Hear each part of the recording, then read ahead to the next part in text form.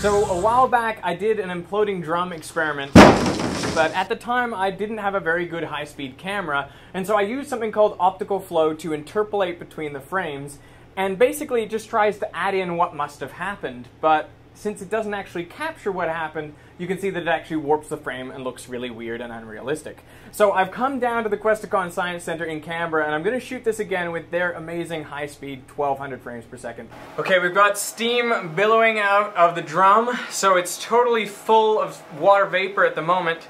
Now I'm going to take it off the heating element. Now we're going to cool down all that water in there, which is going to cause it to condense as it condenses, it's going to create a vacuum in there, which hopefully will get it to implode. Whoa. Whoa. Oh. Oh, yeah.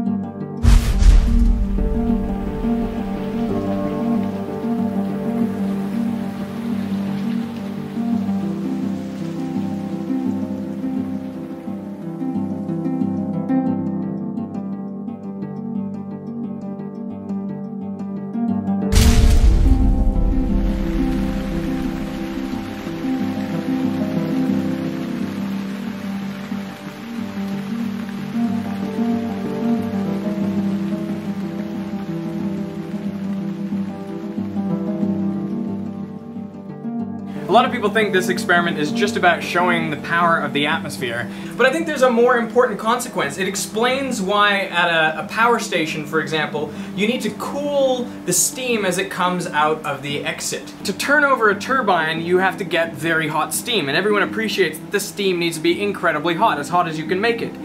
But on the other side of the turbine, you need to use a condenser to cool down that steam, and this is why, because that creates this big suction. So not only do you heat up the steam so it pushes over the turbine, you also need to cool it down when it's gone through the turbine, so you have a big change in energy, and that is what turns the turbine over. Now, of course, suction is just the word we use when a fluid flows from an area of higher pressure into an area of lower pressure, which you'd know if you've seen Vsauce's video on the space straw.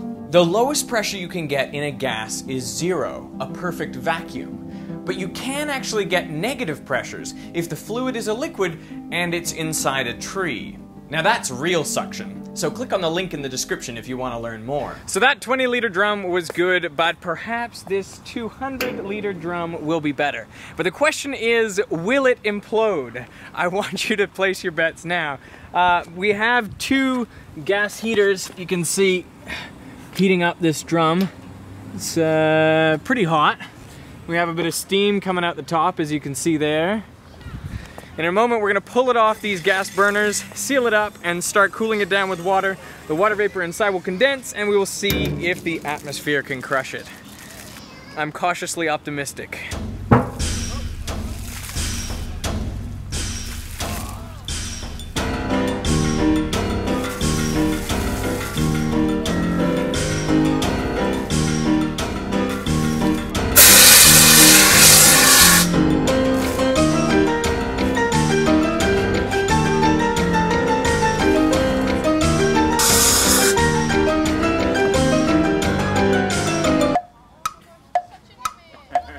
Round objects are incredibly strong under compression, as Destin showed us with Prince Rupert's drop.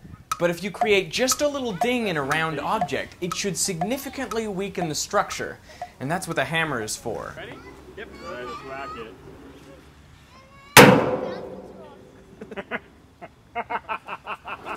well, that's how it should work in theory, anyway. Underwhelming science. Oh, there we go. The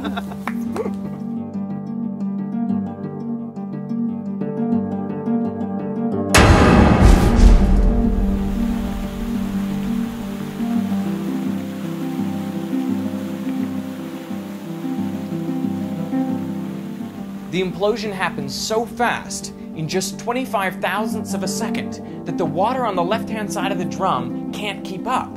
Have a look.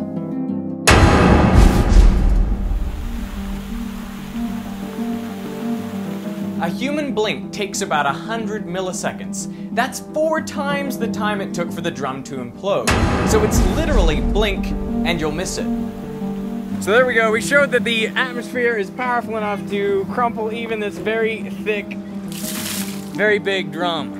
When we later measured, we found that the drum had crumpled into a perfect equilateral prism, which might not surprise you if, unlike ViHart, you prefer your mashed potatoes with a minimum amount of gravy. You see, for a given perimeter, the equilateral triangle encloses the minimum amount of area of any regular polygon.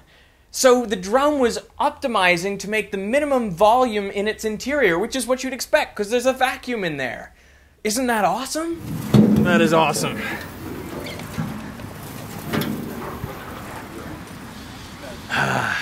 That feels good.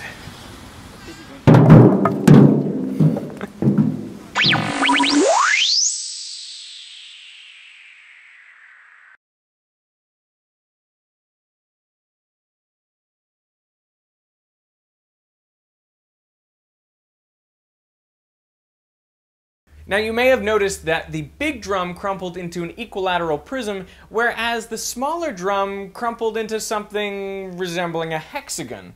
So the question is, why would they crumple in different ways? I mean, one thing I was thinking was that perhaps they were created in different ways, so maybe they were welded in different points, and that explains the structure that we saw. But I'd like to hear your thoughts. Why do you think we saw these different crumpling patterns? I mean, obviously things with three corners are generally quite stable, so that may explain also why it crumpled just to a, a triangular prism. But I'd like to hear what you have to say, so let me know in the comments.